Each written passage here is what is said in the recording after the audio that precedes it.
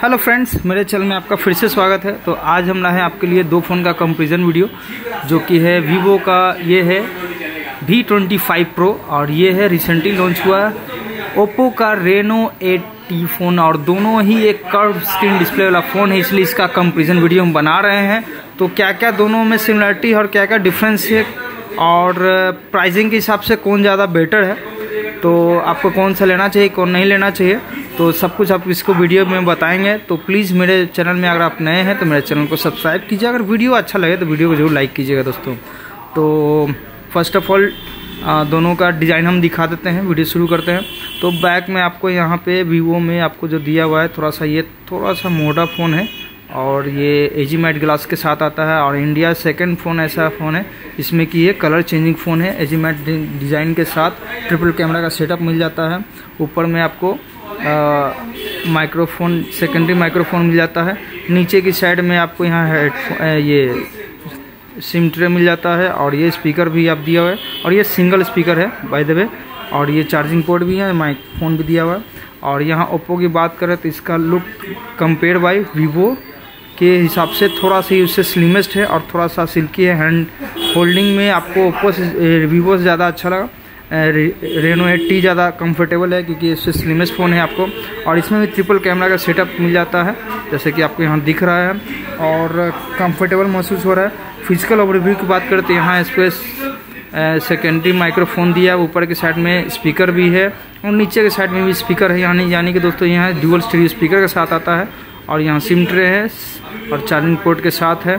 तो दोनों में लुक एंड डिज़ाइन की बात करें तो ऑब्वियसली आप, मुझे पर्सनली ओप्पो का फ़ोन रेनो एट्टी ज़्यादा अच्छा लगा compare to V twenty five Pro अब बढ़ते हैं दोस्तों डिस्प्ले की तरफ़।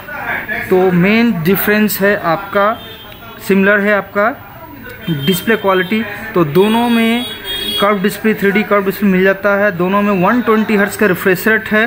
तो ये काफ़ी अच्छी बात हो जाती है टच रिस्पॉन्स काफ़ी फास्ट रहेगा दोनों में ही। लेकिन फ़र्क कहाँ आपको आता है? स्क्रीन साइज़ की बात करो तो वो वीवो में आपको 6.56 इंच का डिस्प्ले मिल जाता है और ओप्पो में 6.7 इंच का डिस्प्ले, थोड़ा सा बड़ा स्क्रीन डिस्प्ले मिल जाता है आपको। और सुपर हम डिस्प्ले साथ दोनों में इन डिस्प्ले फिंगरप्रिंट सेंसर मिल जाता है, जो कि काफ़ी अच्छी बात है। और डिस्प्ले का रिफ्रेश भी दोनों में 120 ट्वेंटी हर्ट्स है तो टच रिस्पॉन्स में कोई चीज़ का दिक्कत नहीं आएगा दोस्तों। और बात करते हैं दोस्तों हार्डवेयर पार्ट्स की तो बढ़ते हैं हार्डवेयर की तरफ़।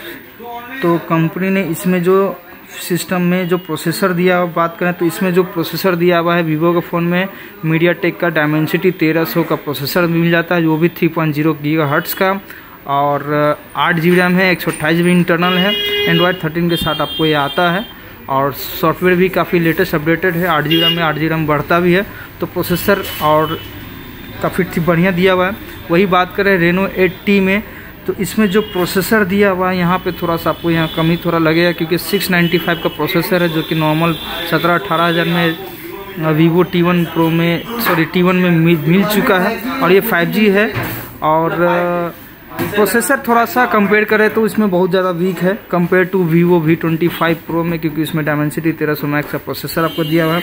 रैम रोम की बात करें तो यहाँ आठ जी रैम एक सौ अट्ठाईस इंटरनल है, इसमें भी आठ जी रैम तक आप बढ़ा सकते हैं, वो आपके ऊपर है। And latest Android version Android thirteen के साथ आता है तो ऑलरेडी अपडेटेड है तो कोई इसका दिक्कत होगा नहीं, एक सौ अट्ठाईस इंटरनल है।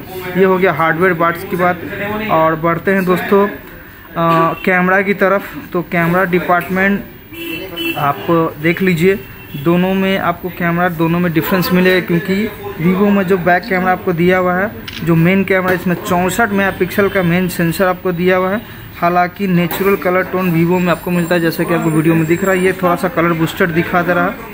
तो ये हम बता नहीं पाएँगे कि क्यों ऐसा हो रहा है, लेकिन देखने में अच्छा ओप्पो ही लग रहा है। और चौंसठ मेगा पिक्सल के साथ वीवो आता है, आठ प्लस दो का। और ओप्पो रेनो एट में 108 प्लस आठ प्लस दो का मेन कैमरा आपको मिल जाता है। फ्रंट की बात करें तो फ्रंट में आपको यहाँ दोनों में 32 बत्तीस में आप पिक्सल का कैमरा आपको मिल जाता था कैमरा फ़ोटो खींच के देख लेते हैं।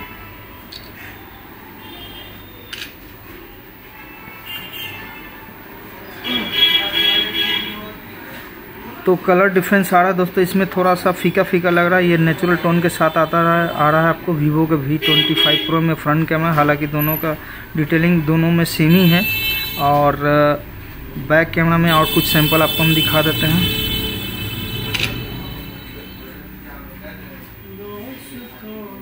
ये देखिए दोस्तों बैक कैमरा में का थोड़ा सा कलर का डिफरेंस है। ये वीवो ट्रू नेचुरल कलर दिखा रहा है। ये कलर थोड़ा सा फेडेड दिखा रहा है, क्योंकि इसमें जो सेंसर दिया हुआ है, वो 108 मेगापिक्सल का है, लेकिन ये नंबर पे गेम खेला जा रहा है। और वीडियो रिकॉर्डिंग की बात करें तो वीवो में आपको यहाँ टेन एटी से में सिक्सटी पीस पे वीडियो रिकॉर्डिंग कर सकते हैं, और फोर में भी सिक्सटी पीस पे वीडियो रिकॉर्डिंग कर सकते हैं बैक कैमरा से।